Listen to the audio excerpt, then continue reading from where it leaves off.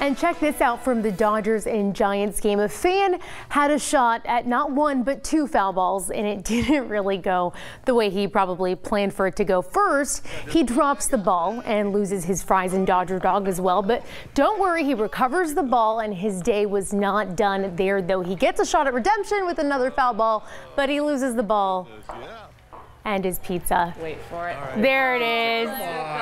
Yeah, that's a rough day.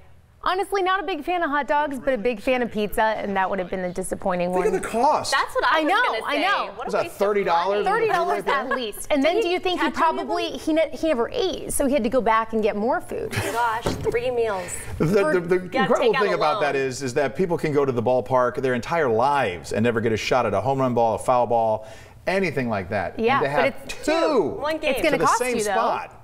Well, Yeah. apparently so. Did he catch him? I didn't Thank see goodness that he, uh, he Catch got any? one of. I know Okay. he definitely Yeah, got one of he them. So at least he got got something for his money.